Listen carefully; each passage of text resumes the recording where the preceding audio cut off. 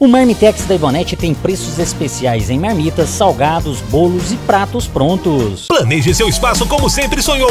Venha dar forma aos seus sonhos em Florindo Móveis. Parcelamos em até 48 vezes. PM procura os autores de assalto a posto de combustíveis em Passos. Aconteceu assalto na cidade de Passos. Segundo testemunhas, dois homens chegaram em um posto de combustíveis que fica na Avenida Dona Liquinha, da Silveira, ali no bairro Coimbras, em uma motocicleta CG cinza e eles ameaçaram ali e anunciaram um assalto. Depois de pegarem todo o dinheiro do frentista, os suspeitos fugiram sentido ao bairro Penha. A polícia militar buscou imagens de câmeras de segurança, conseguindo identificar um deles e já iniciou rastreamento para encontrá-los.